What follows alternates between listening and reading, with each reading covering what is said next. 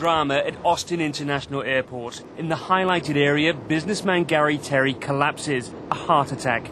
Crouched over his lifeless body, the security guards act fast. They send for a defibrillation unit. Crucially, there's one just 18 feet away. Stay clear of patient. Deliver shock now.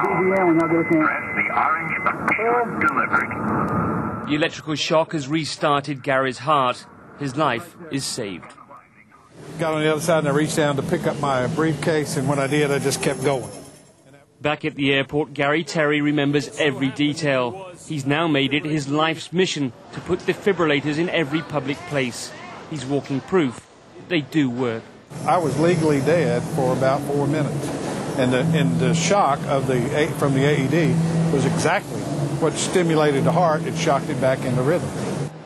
In today's America, defibrillators are everywhere, in most public buildings, in many private homes, and routinely carried by thousands of cops. They are pretty much everywhere. Uh, they're in local restaurants, supermarkets, they're on buses, they're on trains, they're on airplanes, uh, they're on rest stops on the uh, major highways. Remove protective cover and take out white adhesive pads.